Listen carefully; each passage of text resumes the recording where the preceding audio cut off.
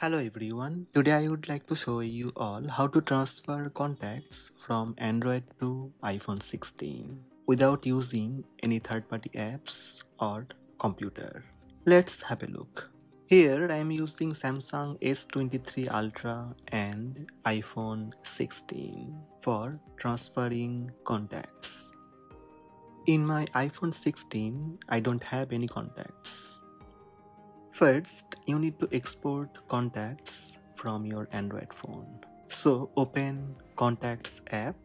In my Android phone, I have 390 contacts. To export contacts from your Samsung phone, open contacts and tap three lines on top left.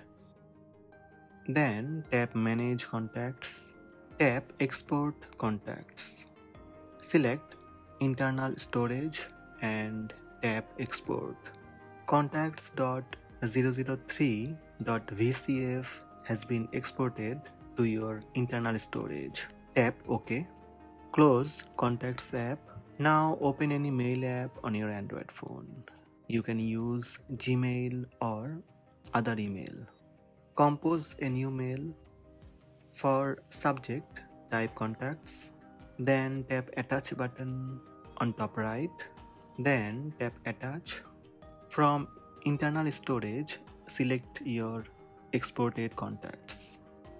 In the to section, write the email address that you are using in your iPhone. This email address I am using in my iPhone. Type the email address and tap send on top right. Email sent. Now take your iPhone and open Mail app here you will see the mail you have sent from your Android phone. Tap to open. Tap and hold on attach VCF file. Then tap share button. Slide to the media and tap contacts. Here you will see your all contacts. Tap save button on top right and immediately all contacts saved on your contacts app. Open Contacts app on your iPhone and you will see all contacts transferred from your Android phone. So these are the steps to transfer contacts from Android to iPhone 16. Hope this video helped you. Please subscribe my channel by tap subscribe button. Also tap the bell icon to receive notifications about all new videos.